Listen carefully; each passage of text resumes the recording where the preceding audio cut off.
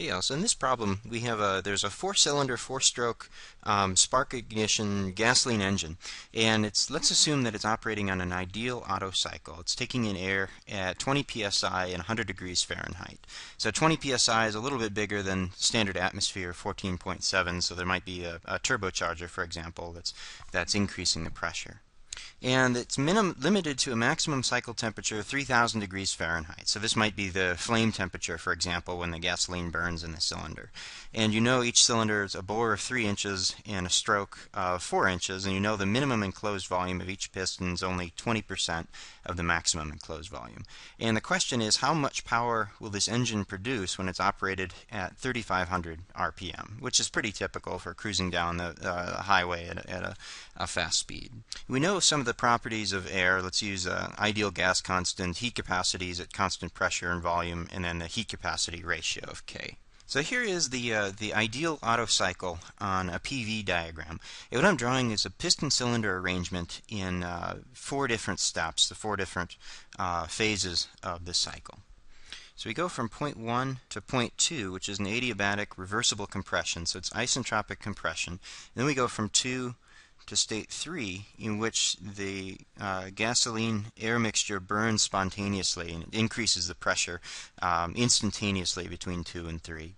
And then we'll go from uh, points 3 to 4, which is an adiabatic reversible uh, expansion, so isentropic expansion from 3 to 4.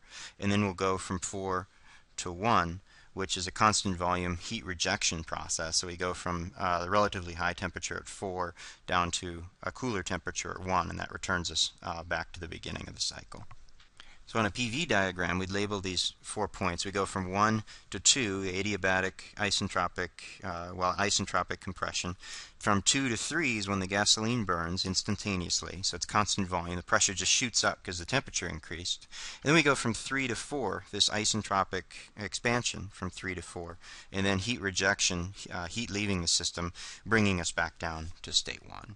A couple of things we know from the problem is the maximum uh, temperature will occur at point 3. The piston's all the way up right when the gasoline uh, burns.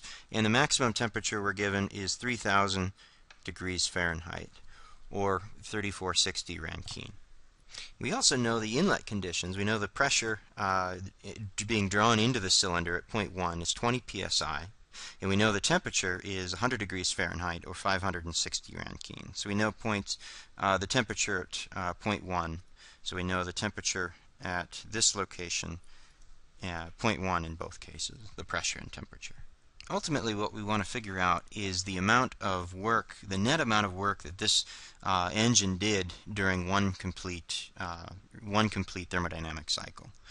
So the uh, work we've got, the work was done uh, as it moves from point 3 to point 4, pushes down on the cylinder, and that imposes a, a clockwise torque, and then the work comes out of, as shaft work leaving the system, essentially.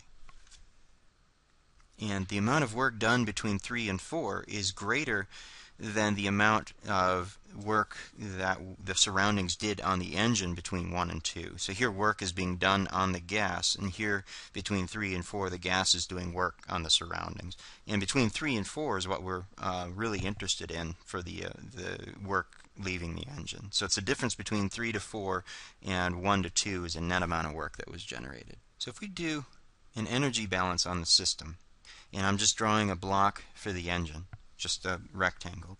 We've got Q, or we got heat entering the system, so we've got Q in, and heat leaving the system, Q out. And we've got a net amount of work leaving the system. So the energy balance shows that the amount of heat entering the system has to equal the amount of work leaving the system uh, plus the amount of heat leaving the system. So all the energy in has got to equal all of the energy out. We'll solve for the net amount of work leaving the system is simply the difference between Q in and Q out. So on our diagram, Q in occurs between steps 2 and 3. And if we drew it on the PV diagram, here was Q in between 2 and 3. And Q out occurs between 4 and 1. So here is, I'll draw Q leaving the system in this case. And in a real engine, this would be expelled as exhaust.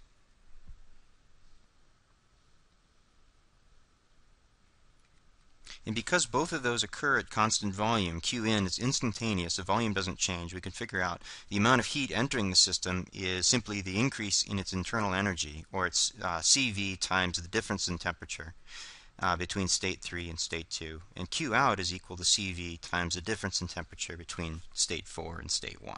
So we do know T3, it's the maximum temperature of 3460 Rankine.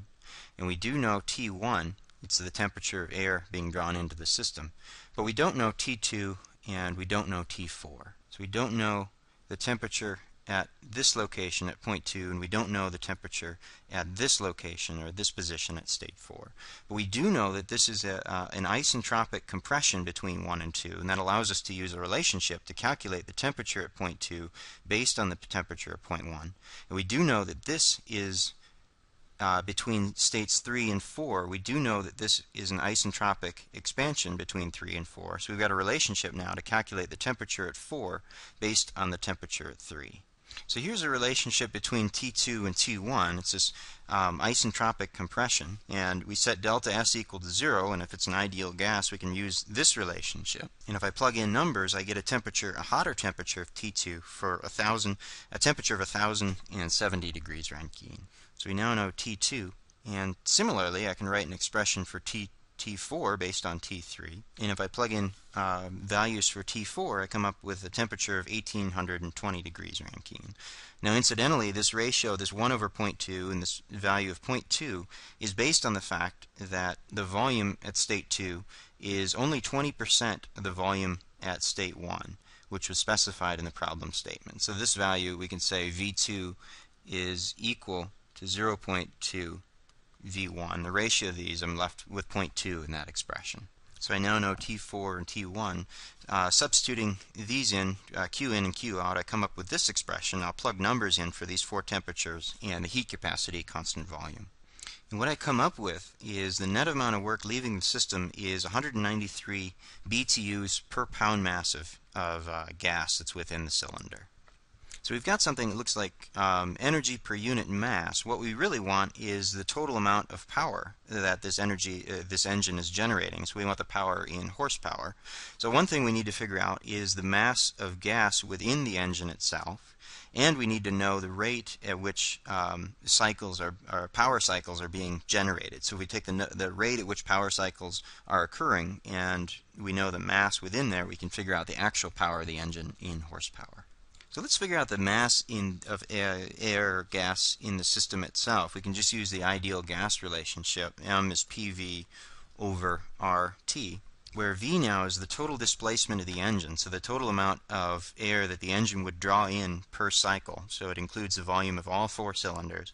And the temperature is the temperature at which the air is being drawn in, so we can just call that T1 and we want to figure out the volume of this. The volume of the whole engine is equal to the number of cylinders times the displaced volume in each cylinder, which is pi over 4 times the bore of, the uh, of each cylinder squared times its stroke. And that's simply the volume, if we scroll back up, it's simply the volume that the piston, uh, when it draws, uh, for example, in a four-cycle engine, the, the intake stroke is, or the amount of air that is drawn in during the intake is simply the volume uh, of the displacement here, and that's equal the uh, height of the cylinder, the stroke, multiplied by the bore, which is the diameter of the cylinder. So we're going to take this volume and multiply it by 4, and that's the total volume of air that's drawn in each time the crankshaft uh, completes uh, its so plugging in numbers, here's the bore 3 inches and the stroke of 4 inches, I come up with a volume of 0.065 cubic feet, and that's equal to 1.8 liters, which is a pretty typical displacement for a four-cylinder engine. A lot of Volkswagens, for example, would use uh, a displacement of 1.8 liters. So if I plug in the volume here and the pressures and the temperatures that we're interested in, along with the ideal gas constant, I come up with a mass of uh, gas that's drawn in by the engine um, during each uh, cycle is 0.006 uh, pound mass. So now that we know the mass of um, air within the cylinder, we can calculate the rate, the net rate at which work is being done.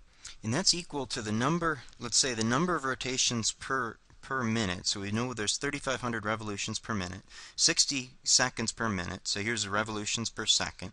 And in a four-cycle engine, there's only one power cycle for every two revolutions. So we multiply this by, uh, for every cycle, uh, thermodynamic cycle, the engine goes through two revolutions. And then here's the value, the net amount of work generated per cycle, so uh, 193 BTUs per pound mass. And then here's the amount of um, air within that's drawn in by the engine during each um, intake cycle. So we multiply this through, we get, um, and check off units we do get uh, uh, units or dimensions of power, BTUs per second. What we're really interested in is the power output in horsepower. So we multiply it by this conversion factor, 1.4 BTU or horsepower per BTU per second. So these would cancel out, and we're left with a value. The net amount of work, the rate, the net rate at which work is being done, is about equal to 50 horsepower. And this gives you an idea. Uh, engines are rated, uh, this size engine would be rated at a max uh, power output much greater than 50 horsepower. But if you're cruising down the road at, uh, uh, and uh, if you're just cruising down the road under these conditions, you, you might generate a power of about 50 horsepower.